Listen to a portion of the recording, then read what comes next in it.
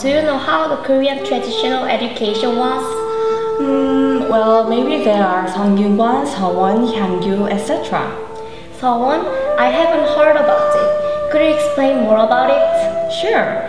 How about going to Sosu Seowon this weekend? It is the first Seowon established in Korea. Okay, that's a good idea. Let's go! Oh, now you're here. Seowon was built all over the country in order to hold a memorial service for the noted wise man and to nurture young persons since mid-Joseon. The Confucius scholars who withdrew from their office fostered the younger students with higher standard study than Hyanggyo, the existing educational institution. Also oriented the senior scholars to Sadang and did this role as the center of the region thought. The first Seowon was Sosu Seowon. In 1543, Punggi's governor Se-bum established Baegundong Seowon, and it was the beginning of Sosu Seowon.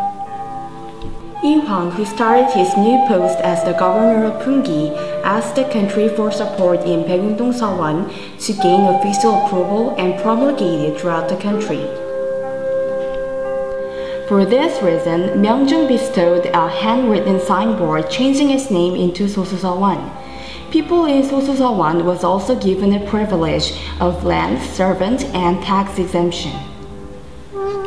Through the Sosu Seowon's foundation and development, other people also began to make Seowon as their assembly place and the center of Hyangchun. This also contributed for the Seowon to be established all over the country and become the pivot of the Joseon's private school.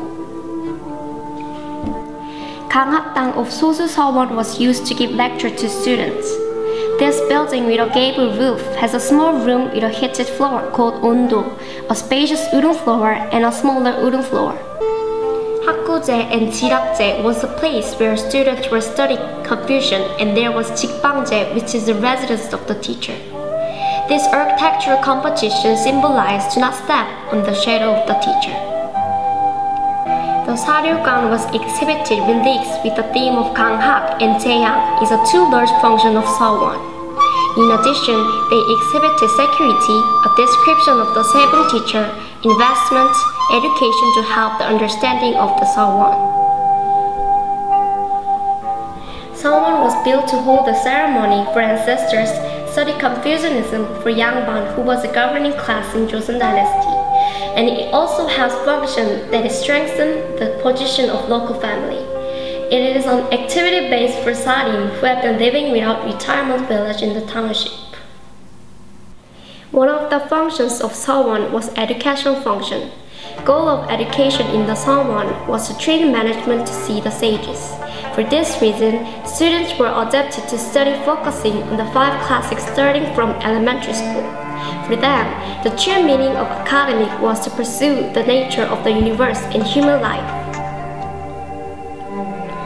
A country can prosper when the individuals are proper. Seowon shows the old wise man's traces.